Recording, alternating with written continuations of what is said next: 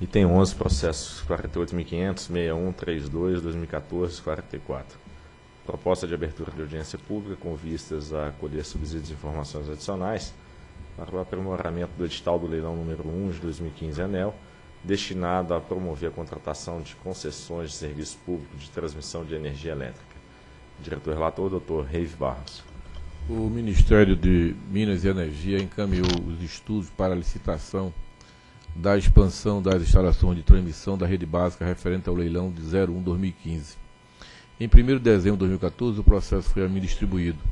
A Superintendência de Concessões e Autorização de Transmissão da Distribuição disponibilizou na segunda quinzena de fevereiro de 2015, no sítio eletrônico da ANEL, e relatórios técnicos R1, R2, R3 R4, dos empreendimentos que comporão os lotes no leilão 01-2015. Por meio do ofício 245, da SCT, é, em 26 de março de 2015, encaminhou ao Tribunal de Contas da União o ato justificatório referente aos estudos de viabilidade técnica, econômica e socioambiental dos empreendimentos correspondentes ao lote leilão 1 2015.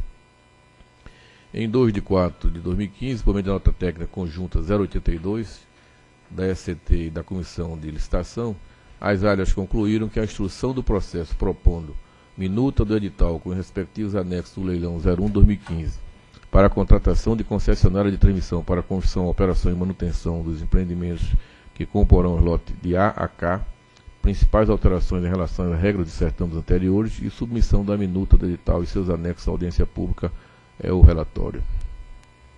Procuradoria. A Procuradoria opina pela abertura de audiência pública nos termos do artigo 4 parágrafo 3 da Lei 942796. A proposta do leilão 01-2015 é composta dos lotes constantes nos relatórios recebidos do Ministério da Energia, dos lotes remanescentes dos leilões 01, 04, 07 2014, total de nove lotes, além dos lotes retirados do leilão 07 2014, no caso aí seis lotes, resultando na configuração do leilão com 11 lotes distintos de A a K.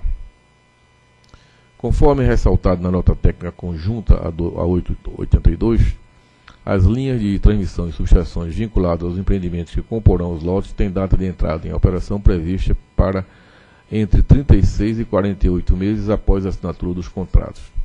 Os lotes serão citados individual e sequencialmente, com exceção dos lotes B e C, que poderão ser arrematados em conjunto, formando o lote BC, mediante o mesmo procedimento utilizado no lote A do leilão de transmissão número 4 de 2014 e os lotes que constarão da proposta não estão descritos a seguir. Então nós temos o lote A, é uma, lista extensa, se, se eu tivesse lendo esse voto pela manhã eu ia ler tudo isso aí, mas vou dizer que o lote A são instalações no estado de Minas Gerais, o lote B, instalações no estado de Mato Grosso, o lote C, instalações no estado também de Mato Grosso, o lote D no Pará, o lote é, é em Santa Catarina, o lote F em Alagoas, Pernambuco, Paraíba e Sergipe, o lote G, Piauí e Maranhão, o lote H no estado de Rondônia, o lote I em Tocantins e o lote J no Rio Grande do Sul e finalmente o lote é, K no estado de Goiás. Portanto, é um,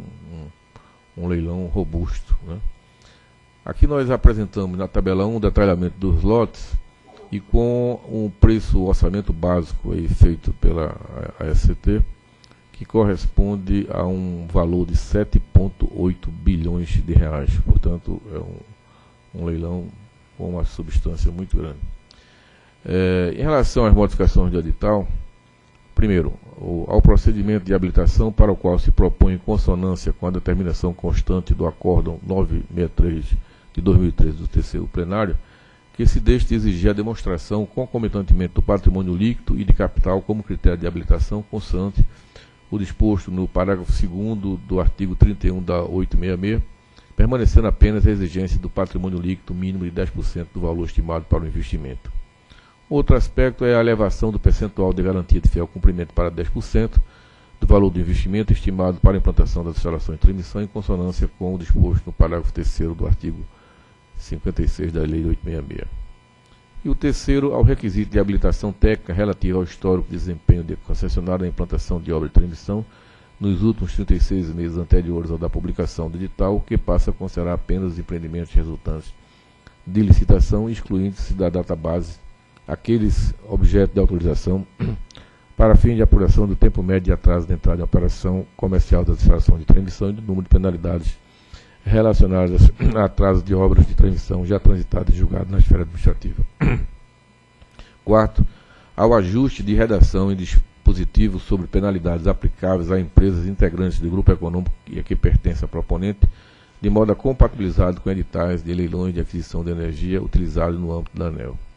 Quinto, a vedação de entrada na SPE desde a assinatura do contrato de concessão até o início da operação comercial da instalação e transmissão de empresa que não tenha participado de consórcio originário, bem como a obrigatoriedade de aquisição pelas sócias remanescentes das cotas da SPE e da sócia que pretenda deixar a sociedade.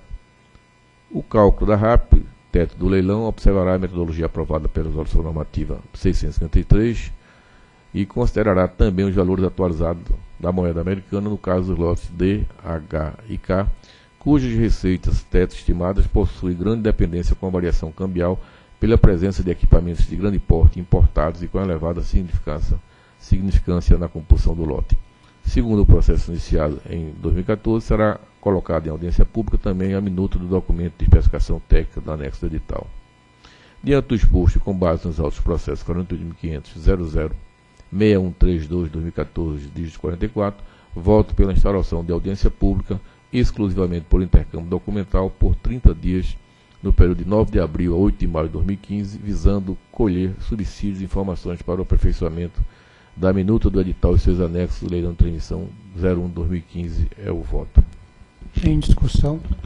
Aqui eu só queria fazer aquele convite aos interessados que contribuam também com a parte da matriz de risco, como a gente fez no, no na abertura de audiência pública do Bipolo. A gente, a proposta original não contempla isso ainda, né? Contempla outras melhorias de edital, mas é importante a gente receber contribuições para ir juntando massa crítica e quando tiver maduro poder colocar no edital. Perfeito. Em votação. Eu voto com o relator. Também voto com o relator. Também voto com o relator. Também voto com o relator. Proclamo que a diretoria decidiu pela instauração de audiência pública por intercâmbio documental por 30 dias, no período de 9 de abril a 8 de maio de 2015, visando colher subsídio de informações para o aperfeiçoamento da minuta do edital e seus anexos do leilão de transmissão número 1-2015 ANEL. Próximo item.